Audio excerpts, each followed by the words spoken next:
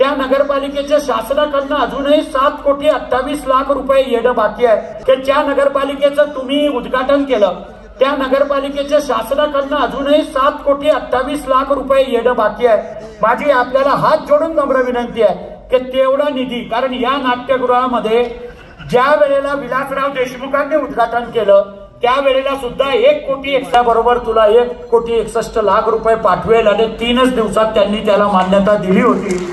आपण सुद्धा मुख्यमंत्री कार्यालयामध्ये आमची फाईल आहे. फक्त आपण त्याला मान्यता द्यावी एवढी आग्रहाची विनंती करतो. मागायला सुद्धा डोकं पाहिजे या मताचे मी आहे.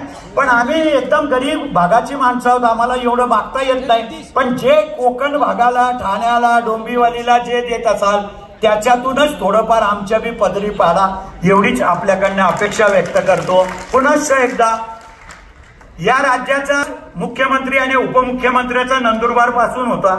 पण